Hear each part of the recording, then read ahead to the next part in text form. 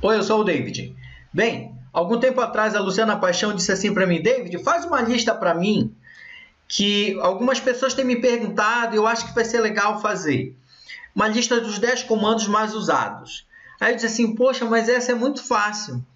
Essa aí, é, é, dependendo de, de que é o, a linha de raciocínio do usuário, né? Ele é, pode ser arquiteto de projeto executivo, ele usa determinados comandos. Arquitetos de, de estudo de viabilidade, ele usa determinados comandos de estudo do Revit, ok? E eu resolvi seguir uma linha e depois eu pensei assim, não, vai ser legal também falar dos 10 que menos usados, mas que são importantes. Ela disse, então faz as duas listas. Então pronto. Aí eu pensei assim, vou abrir uma discussão no Facebook. Dei a lista para ela, colocou no portal dela, que é este aqui. Este aqui, tá bom?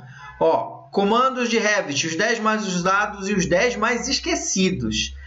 Achei muito da hora, ficou bem legal. E esse aqui é o vídeo que fala dos 10 mais, é, é, mais usados. E eu coloquei no Facebook e tal, abrimos uma discussão, mas ninguém discutiu comigo. Mano, vamos discutir. Vamos, vamos lá. Vamos ter um pá, um pá daqui, um pá dali. Tá certo? E vamos junto então. Bom, primeiro item da lista é as óbvias paredes.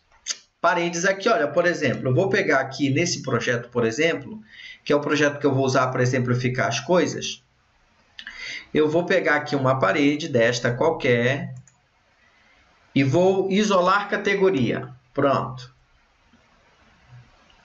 Ele vai esconder todo mundo deixando só parede. Olha, praticamente o projeto inteiro ficou. Neste caso aqui, até o guarda-corpo foi feito, a parte de vidro foi feito com comando de parede, que ele é muito versátil. Tá? A ideia de, de nós conversarmos sobre os comandos principais do Revit é para esclarecer que, mesmo sendo básico, você tem que saber muito bem ele.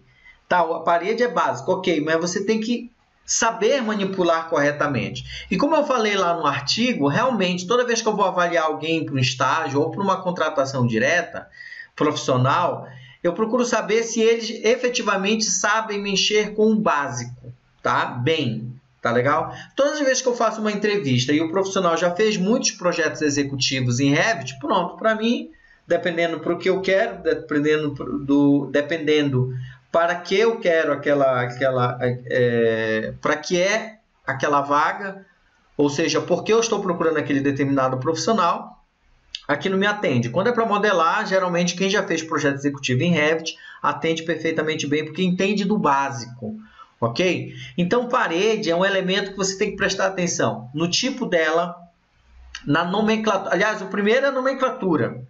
Porque se você estiver utilizando um BIM-Mandate, se a construtora ou o escritório de arquitetura tem um BIM-Mandate, tem que seguir muito à risca a nomenclatura. Tá legal? Dentro da nomenclatura ou na norma da nomenclatura, diz qual é a espessura que você deve aplicar. Espessura é muito importante. Na hora de modelar ela, você tem que perceber onde ela começa, onde ela termina. Ok? Se você utiliza parede sanduíche, modelo Autodesk com várias camadas, tem que saber aonde aplicar cada uma das camadas, tá certo? Lembrar que ela é, ela tem lado interno e lado externo, tá certo? Você que utiliza camadas separadas, como eu, cada, cada revestimento e cada serviço é uma camada separada, tem que ficar ligado, ver se ele não está entrando na outra parede. Então, comando parede, ele precisa ser muito bem usado. Então, deixa eu ver aqui minha colinha. Ah, a aplicação do material na estrutura dela também é muito importante, saber o material certo. Porque determinados softwares de quantificação, é, quantificam por material e outros quantificam por tipo. O meu, o Cisplo, que eu uso, ele quantifica por tipo, mas existem algumas regrinhas que vão assimilar por material ou algumas exportações de quantitativo para programas de orçamento que utilizam a, a exportação de material. Então tem que ter muito cuidado na hora de aplicar o material numa parede e essa parede dentro do projeto. Ok? Beleza. Esse é o primeiro comando. É, é, que é, assim, o mais usado. Parede é, uou, show de bola. O outro é o piso. Olha lá.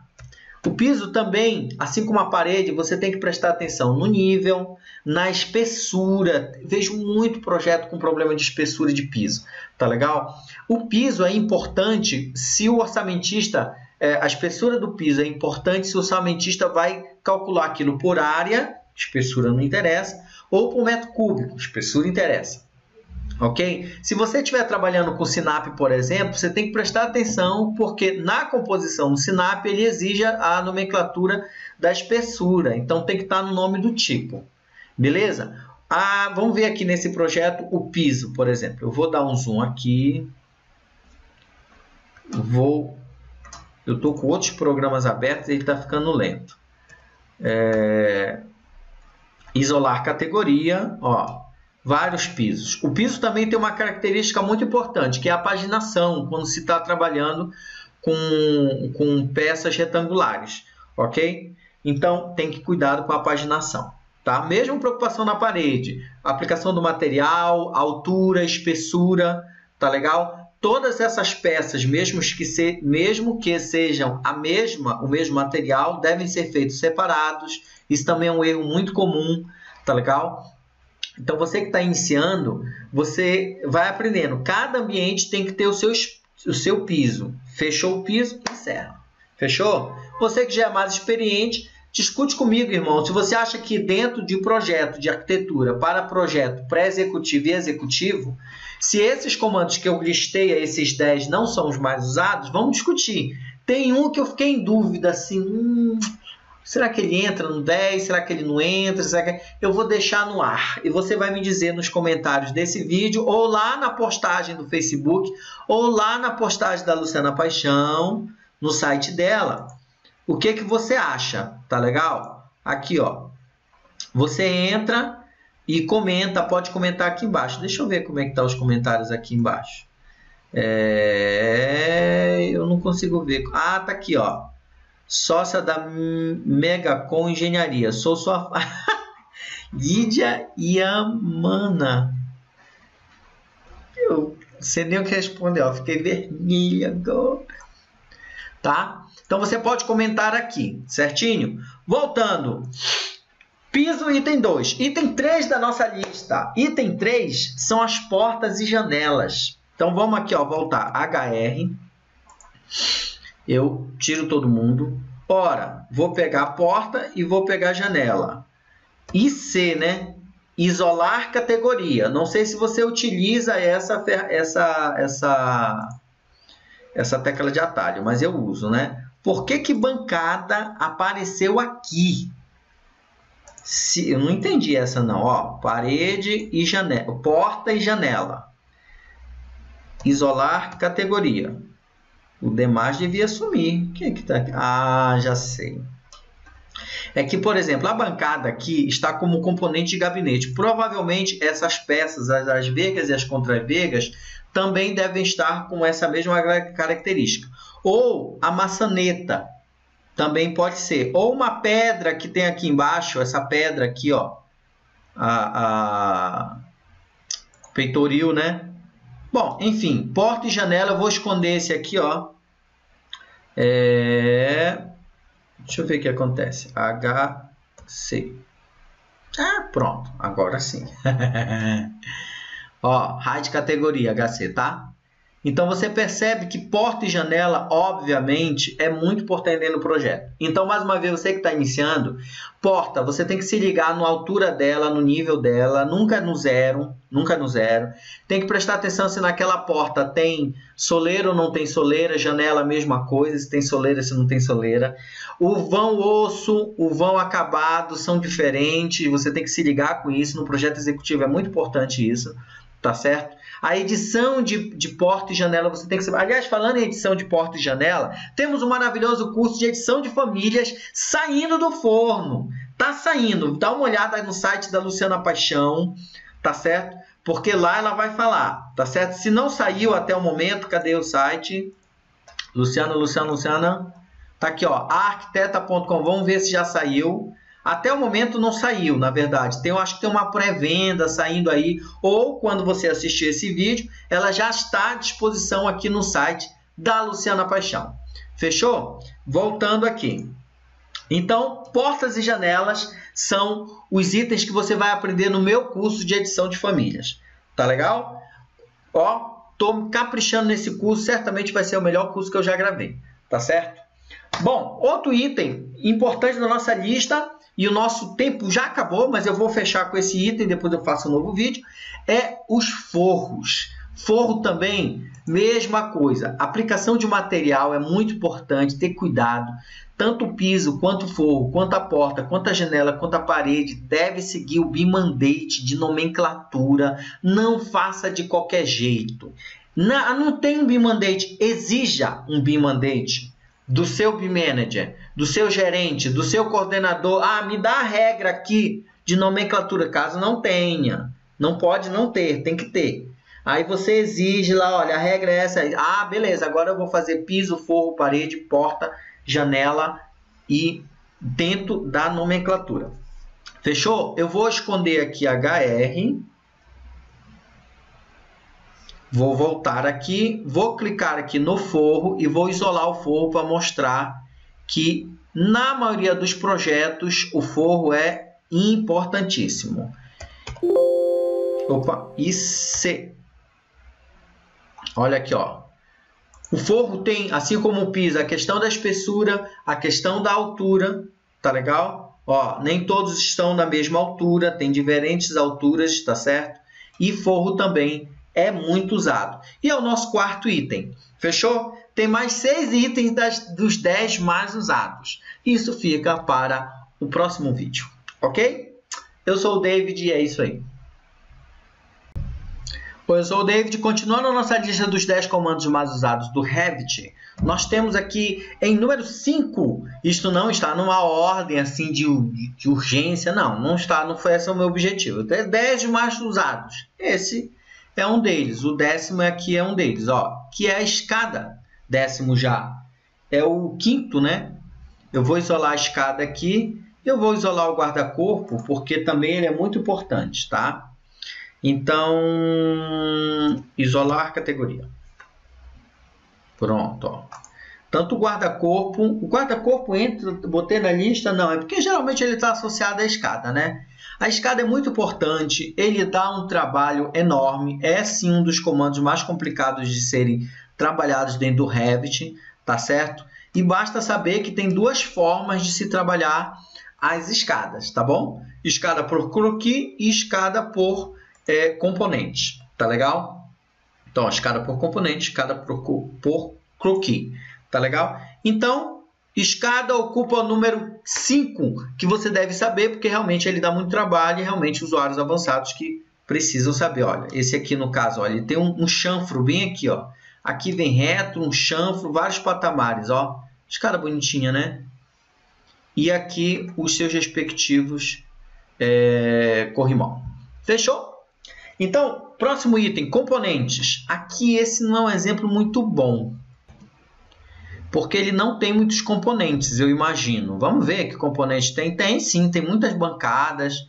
Aí vamos aqui, vamos fazer o seguinte, vamos pegar as paredes, peguei aqui parede, então HC, Height Category. Pronto, vamos pegar o forro, já analisamos ele, né?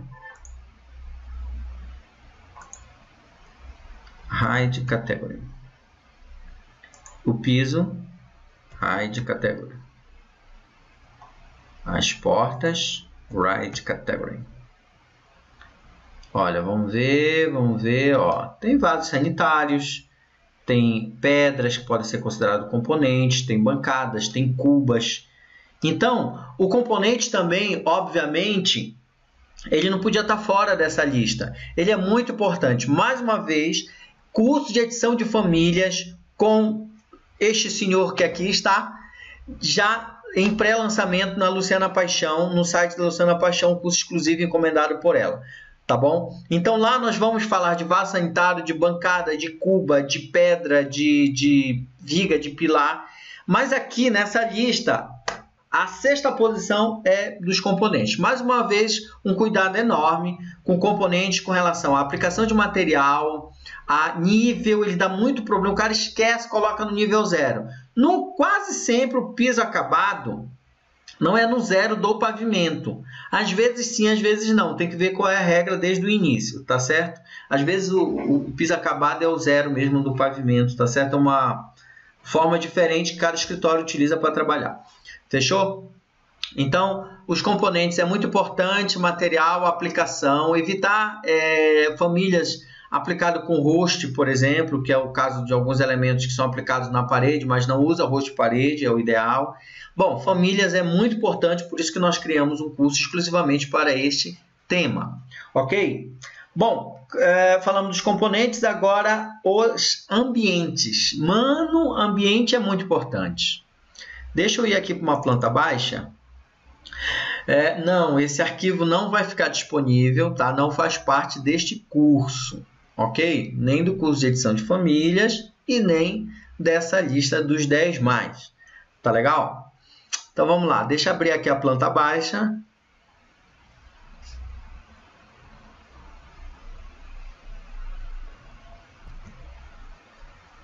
Planta baixa aberta. E aqui, olha, pela, pela nomenclatura dos ambientes, o ambiente é uma, uma entidade, vamos dizer assim, um comando é muito importante para o Revit. Esse cara aqui, ó, essa cruz aqui. Porque por ele você determina o nome, não só o nome do ambiente, obviamente, mas a área do ambiente, perímetro do ambiente. No caso do meu plugin de revestimento, por exemplo, eu utilizo a, a família ambiente para locar pisos. No, no CGS, ele cria pisos automático. O meu de revestimento cria as paredes automáticas, tá certo? No futuro próximo nós vamos ter ele criando também os forros automaticamente. Então a família ambiente, ele é muito importante, você deve conhecê-lo bem, tá certo? Ele tem uma altura, ele vai até determinada área, tá certo? Então tem que ter cuidado para ele não ir muito abaixo, ele tem que zerar no pavimento e morrer no pavimento do, ali na altura do forro, tá certo? Então a família ambiente é muito importante. Quando você passa um corte, deixa eu ver um corte aqui, ó. E você dá, põe um tag de ambiente, ó. Esse corte não está me ajudando muito não, porque ele é bem curtinho. Deixa eu ampliar ele aqui um pouquinho ao lado, pro lado.